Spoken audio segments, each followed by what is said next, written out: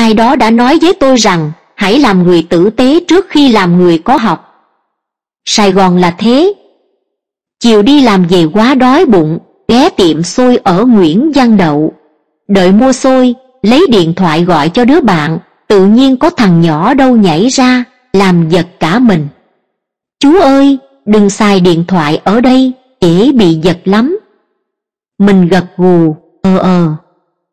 Con biết chú không mua vé số đâu, nhưng nếu được, chú ủng hộ con một tờ thôi.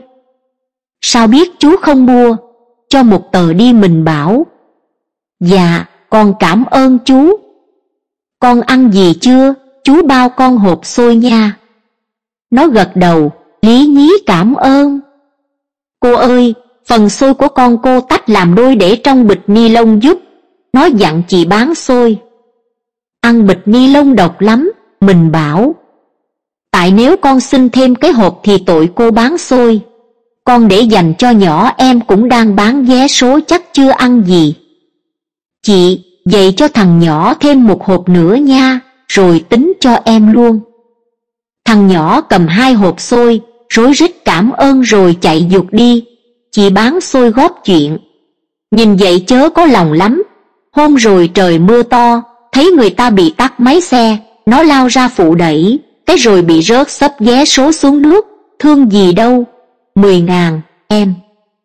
Ủa, ba hộp sao có mười ngàn? Không có em tôi cũng cho nó mà, tính hộp của em thôi. Tự nhiên nghe mắt cay cay, cổ họng tôi như nghẹn lại. Bởi vậy có bao giờ rời Sài Gòn được đâu. Lòng tin nhiều khi đặt có thể sai, có thể đúng, có thể bị phản bội.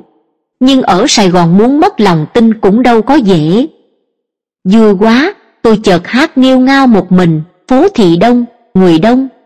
Tôi như đứa nhóc lông bông, chơi xa mà không về nhà.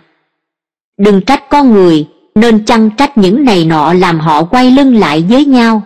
Đâu cần làm ông nọ bà kia, đâu cần phải vinh hoa, phú quý.